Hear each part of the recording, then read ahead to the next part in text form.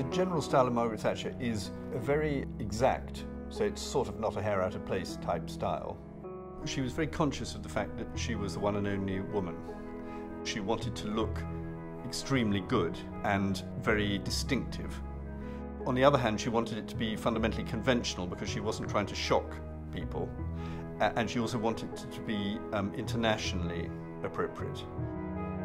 What was the Lady Thatcher that I saw that came in for her fittings would come? She was everything that you would expect as the public. Immaculate hair, immaculate makeup. In private, she was exactly the same as in public. That formality never ever left. She was extremely professional and she was very professional about her clothes.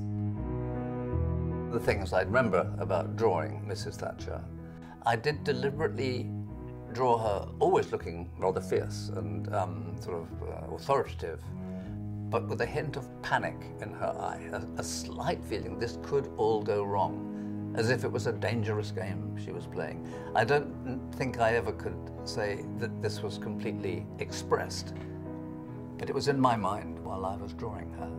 She was a sort of high wire rat sometimes that made her very amusing. Sometimes politics is great theatre, and she was really good theatre. Lady Thatcher was the first Prime Minister in the UK that was actually media packaged it was the first time that you had somebody speaking constantly on television, constantly travelling. We had an expectation as a public of a strong Prime Minister. She delivered. Possibly Mrs Thatcher's most important foreign visit uh, in her whole career was her visit to Moscow in March 1987. It was a key moment in her salience in bringing the Cold War to an end she worked very carefully about what she should wear and she sort of played on the Russian theme. And you can see the pictures of her. And this was very much a public visit. She was dressing as a political tool. She always had a smart handbag, and she usually, obviously in the evening, she'd have a clutch bag, but for working purposes, she'd have one on a, with a handle. An extraordinary thing she'd have in it, like a 1944 employment white paper, which she wished to wave uh, for some reason, or a speech by Abraham Lincoln.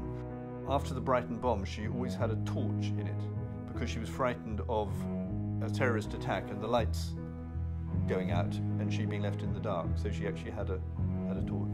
She was very much the same always.